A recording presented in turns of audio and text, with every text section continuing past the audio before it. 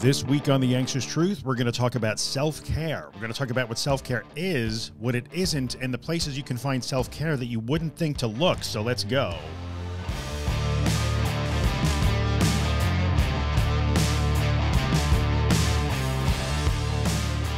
Hello, everybody. Welcome back to The Anxious Truth. This is episode number 274 of the podcast. We are recording in early September, actually closer to mid September of 2023, in case you are listening to this podcast from the future or watching on YouTube.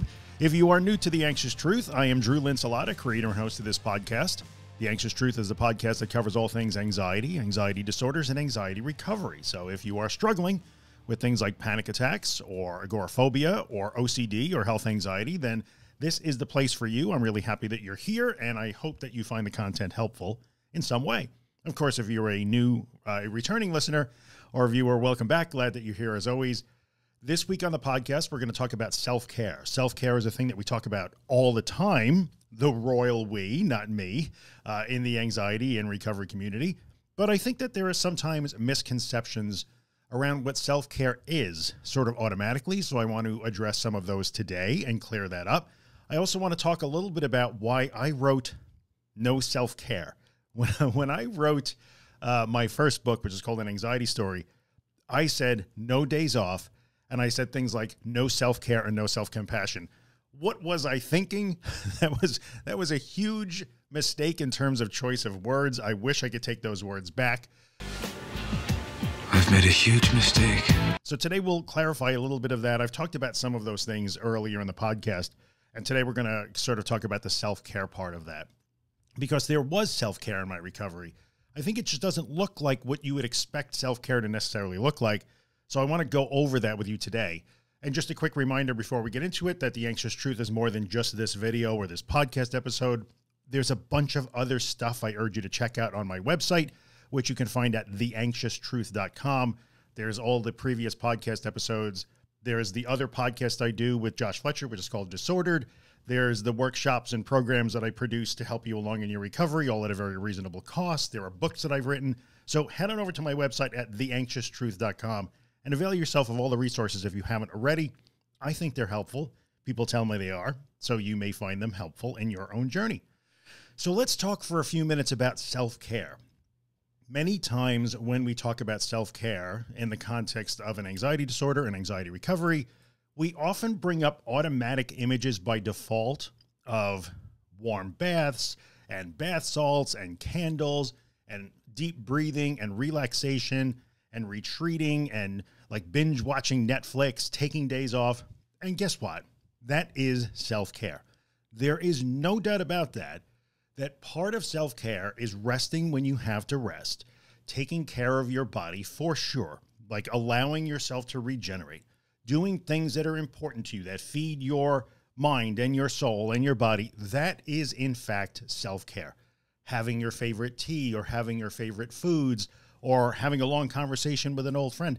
That is definitely all self care. Do not let anybody, including me, because I could be a bit extreme on this topic, tell you otherwise. However, that is not what necessarily what self-care looked like for me in my recovery. And my assertion is always that at least in the beginning of the recovery process, if you are in the habit of engaging in avoidance and you are retreating, and whenever you face a challenge or things get a little bit dicey, you automatically back up, which by the way, is kind of where everybody starts this. So that's not a crime. It doesn't mean that you're doing it wrong or you're broken. If you're in that situation in the early days of recovery, sometimes we have to start to err on the other side. Because I've said this before and I'll say it again. If you give an agoraphobic person the choice between doing a really challenging exposure where they are intentionally triggered and afraid and may panic, or taking a self care, and I'm using air quotes here, self care day again to tend, I need a me day, and you spend all day on the sofa, nine times out of 10, the agoraphobic is going to pick the day on the sofa. That's true. And that's just human nature. So sometimes when I kind of rail against that, like day on the sofa with candles and tea and, and binging Netflix, it's because I'm addressing that. So sometimes we have to start to move in the other direction, which says, I really want to spend the day on the sofa today, but I've spent the last four out of seven days on the sofa And I think I actually don't need that now. I just want it. So sometimes it's totally okay to do that. When tired, rest. When you need to recharge, you should be doing things that feed you in all different ways physically, emotionally, emotionally, mentally, spiritually, 100%. But I think that one of the most important things that we forget about self care is that self care is often about connecting with what we need. And what we need doesn't always mean comfort or soothing or rest. Sometimes what we need is something different. So self care is caring for yourself, giving yourself what you need. I will tell you in my experience, what I needed was a different approach. So when I was in a highly avoidant state, which you may relate to, avoidance felt good initially. So if I found a way to wiggle out of a challenge and avoid being triggered, initially that felt good. It would make me feel better. I would feel calmer. My anxiety level might drop a little bit. And you might say, well, you're taking care of yourself. But then the boomerang or the backdoor effect of that, an hour, two hours, a day later, was I feel terrible again. I don't just feel anxious again because it's going to rise up no matter what we do. I don't just feel anxious again, but now I feel like I'm failing again. I'm feeling like I'm wasting another day. I'm feeling like my life isn't getting any better. I'm feeling like I'm not meeting the challenge. So I would get an immediate hit of relief, which would seem like caring for myself. But then on the back end, there was a whole lot of pain that came with that. I, I skipped another thing. I made another excuse. I missed another business opportunity. I missed another thing with my kids. So while initially I would feel pretty good about that and maybe what I was doing, because I would do that, I would retreat, I would meditate, I would make literally, I was drinking warm milk to try and milk to try and calm myself down. I would make sure I had my magnesium supplements and everything ready. I would sit and, and watch TV shows that used to make me forget and, you know, make me feel a little better. And at first glance, that would look like, oh, that's self-care. You need a, you need a mental health day, Drew. But after most of my days were mental health days, that was backfiring on me. So connecting to what you need sometimes means what I really need here is something different. Because if I avoid at 2 p.m. and I hate it at 7 p.m., because now I'm stuck in a loop of I did it again, nothing got better today, I'm never going to get better, I can't do this, I'm missing out on life, I'm a terrible friend, I'm a terrible partner, I'm a terrible parent. If you are stuck in that loop, then sometimes we have to take a step back and say, it's not about what I want right now. It's about what I need. Self care is about giving myself what I need. What do I really need right now? What I need at the moment is to break my avoidance cycle. It doesn't mean I have to get better today.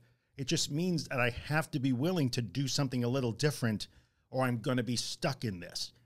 Where later on, after the soothing and the calm part of avoidance wears off, now I'm in the, I'm getting boomerang, it's boomerang back at me and it's slapping me in the face because I've wasted another day. So one of the things that I did write about when I wrote my first book, and by the way, that book, An Anxiety Story, you can go on my website. You can get that completely free. Just follow the links. You can get it in MP3 or, or PDF format, totally free. You can buy it on Amazon if you want, but you could also get it free. So when I wrote that book, I talked about how I would get to the end of a day and feel terrible about myself. So when the day would end and the demand would, the external demand would drop off because it was the end of the business day. I was reasonably sure my phone wasn't ring, wasn't going to ring. I was reasonably sure that I wouldn't be made to leave my house for some reason. And that would feel like, okay, I made it through another day. But those nights where then it would be like, okay, now I'm going to rest. I started to feel like, what am I resting from? I've been in avoidance mode all day. I, am resting again and I'm happy that it's eight o'clock at night and my phone isn't ringing and I'm, there's no demand on me, but I feel terrible on an emotional standpoint. I feel terrible because I'm starting to resent myself. I'm feeling terrible because I'm judging myself negatively as if I failed or I am a failure. And I've written about that too. There's a terrible, terrible feeling. So it was about connecting to what I really needed. And what you really need sometimes is to break that cycle. And that could be broken in a small way. So sometimes self care is actually found in accepting the challenge, even though at the time that wouldn't look like the traditional self care imagery and words that we hear about in social media wellness circles. Doing an exposure that you are terrified to do that takes you 15 minutes or 20 minutes or 30 minutes to get through, and you are triggered, and maybe you panic or you're having all kinds of scary thoughts, and you are in a state of distress, doesn't look anything like self care. But anybody in this community who does those things and understands that, like, I did a hard thing today that I have previously been afraid to do. If you're listening to this podcast and you had those moments where, oh my goodness, I did it. And if you listen to, I mean, I have a whole series of anxiety success stories on this podcast. If you listen to Disordered, that I do with Josh at disordered.fm, we always have these did it anyway stories. That is so important. That is, in fact, a form of self care because the feeling you get after you meet that challenge, even though it was not immediately soothing and it wouldn't look, it wouldn't immediately meet the definition of what we think is historically self care. That was in fact a form of self care because the people who send in those wins and those victories, the people who have been on my podcast to call themselves success stories and share their stories, were giving themselves what they needed, which was I needed a win it was really hard, but I needed that win. I needed that challenge. I needed to rise up and meet a challenge today. Because if I didn't, if I did the traditional route that looked like self care by soothing myself and trying to regulate my nervous system during every waking moment, and we know all the things, okay, fine. But at the end of the day, or at some point in the next couple of days, I would feel terrible about myself because I wasn't making any progress.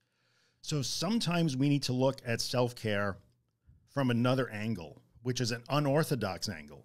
And I think when I have been notoriously, and I will accept this criticism, by the way, when I have been notoriously contrarian about the idea of self care, and I have come across as a bit aggressive and a bit cruel sometimes, or cold and very engineering like about this, I'm kind of talking about that. And I will own my own shortcomings in the way that I have described that stuff in the past. And I will give you guys, the audience, the community, full credit for teaching me what I was doing wrong there. I would not back up my my stance on that, but I think I understand a little bit more now how to explain it and to frame it in a way that you can maybe understand a little more, as opposed to sounding like the guy that says, never take a day off and throw away your lavender oil if you like lavender oil, which is becoming a running joke in, in this the anxious truth community, if you love your lavender oil, that's totally cool. I'm not going to take it away from you. Don't let anybody take it away from you. However, self-care is more than just lavender oil. It's more than just hot baths. It's more than just retreating. It's more than just trying to somehow activate your vagus nerve. Sometimes self-care means I got to connect to what I need and what I need right now is maybe different than what I want right now. And let's be a little bit more nuanced about this when we say that sometimes you can need more than one thing. I need a little break because my nervous system is a little frazzled. I'm, I've sensitized right now. But what I need more is a win. So sometimes it's about separating need versus want because those are sometimes two different things. Sometimes I need two things at the same time, but I have to really prioritize which one I'm going to I'm going to get today and sometimes it's need, need, and want altogether. So these are things that over time you start to work out through experience. When do you know that you're, when do you know that you're doing it right? I say this all the time. Oftentimes you don't know. But what I would urge you in this 15 or 16 minutes I'm going to spend with you today to do is to begin to challenge your traditional ideas of self care. If you are concerned that you must never engage in self care because that's somehow avoidance, you are wrong. Think about it and go listen to the first things I said in this episode again. If you think that self care is something you must engage in to soothe yourself and calm yourself, and that's all self care really is, and you can sometimes justify avoidance in the name of self care, then think about what I talked about today in terms of what you really need versus what you want, and looking at self care from a bigger picture and not just how I'm going to feel in the next 30 minutes. So this is a, a weird topic. It's a big topic. It's a, as always, it's a nuanced topic. There isn't always black and white in this. We're never, we can never be a hundred percent sure that we're getting it right. Sometimes you will choose a traditional self-care day, look back on that the next day and say, oh, I was, I was maybe a little avoidant yesterday. I see what I did. I'm not going to beat up myself. I'm not going to negatively judge myself. I'm going to be nice to myself. I'm going to say, what can I learn from that? And how can I maybe change my implementation of self care tomorrow or next week? Sometimes you're going to say, mm, you know what? I pushed it. I was exhausted. I shouldn't have pushed it. What can I learn from that? and now I understand what it feels like a little different, a little more, and I will adjust as I go. So, as with anything else, there is no perfect form of self care. There's no universally applicable form of self care that, that will matter in every single moment. It's going to change based on the context, based on the day you're having, based on your recent experiences, based on your state of mind, based on your physical condition, all of those things. What I really care about today is just planting that seed in your head that might say, okay, well, this is the guy that said no self care. He's backpedaling a little bit, and I am. I'm going to try and massage that. And I'm going to say self care is important, all but all forms of self care, not just this laying on the sofa part. Okay. So consider that you may have to challenge your ideas about self care a little bit. Go back and re listen to this if you want. That's totally fine. That's what they're here for. But if you are not at least willing to consider that sometimes self care doesn't feel so great in the moment, then you may wind up frustrated because then you can keep falling back on, on the idea of self care as justification for avoidance. Or you're just missing the idea that, oh, I can take care of myself also sometimes by challenging myself because the payoff for that is going to come tonight. It's not going to come now. I'm going to struggle more now but later on this evening, when I did it and I didn't hide and I did the best I could, and I rose up a little bit and met that fear and did the best I could with it instead of running from it, that's when I'm going to get the benefit. That's when the care part comes in. That's when there's some gratification. That's when I know I did something good for myself. That's when I can feel a bit more positive about myself.